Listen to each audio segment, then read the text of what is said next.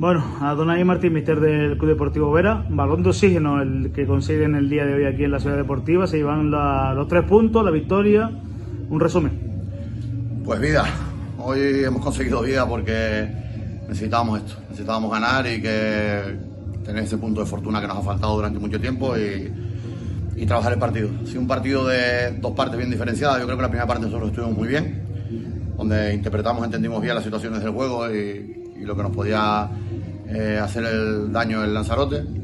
Estuvimos bastante bien, tuvimos llegadas con bastante claridad y bueno, conseguimos ese, ese gol que nos hace irnos con 0-1 al, al, descanso y bueno, la segunda parte es totalmente diferente. Ellos se hacen dueños del balón, nos toca sufrir y bueno, hemos tenido esa, esa fortuna con tiros al larguero de ellos y, y, varias llegadas que unas hemos sabido defender bien y otras hemos tenido pues la, la suerte de que no traen han sabido sufrir en esa segunda parte porque prácticamente no, no han salido de, de, su terreno de juego.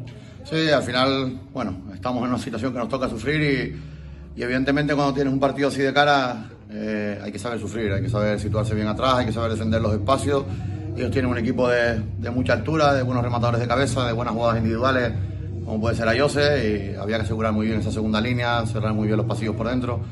En algunas ocasiones nos hemos quedado demasiado largos, pero ya te digo, Campo Grande ha sido un partido de correr mucho de un lado, de un lado al otro. Venimos de jugar un partido el miércoles, con lo cual chapó y felicitar al equipo por el gran esfuerzo.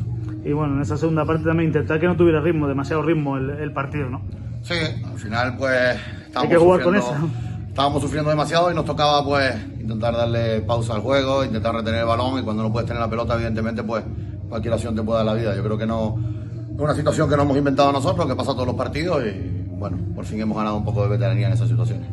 Bueno, son tres puntos importantísimos. Pues, la cosa por debajo y por arriba está tan apretada que, que, ya uno no sabe. Quedan cuatro jornadas para, para el final. Esto va a ser de infarto. Sí, muy complicado. La clasificación está demasiado apretado. Vemos muchos equipos metidos en, la pelea, que eso puede ser bueno, pero bueno, nadie se, se separa, nadie se consigue la salvación, nadie desciende. Yo creo que quedan los partidos que quedan tres jornadas para para morir, para sufrir y hay que ser inteligente, intentar hacer partidos como el de hoy, donde sabemos que de aquí al final va a ser esto, sufrimiento, competir y, y poco más. ¿Próximo rival? Ahora jugamos en casa contra el Unión Puerto el domingo a las 12.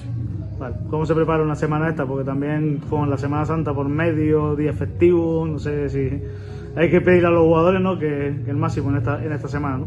Bueno, complicado. Bueno, cuando, como les digo yo a ellos, cuando firmamos la ficha sabemos que que en tercera división pasan estas cosas y hay jornadas aplazadas que, hay que jugar el miércoles, no podemos modificar el partido porque era lo que nos hubiera gustado, pero bueno, ellos tienen que jugar, nosotros tenemos que entrenar y estamos en, la situación que tenemos que sacar ventaja a la victoria de hoy, nos toca entrenar y planificaremos la semana como una semana normal.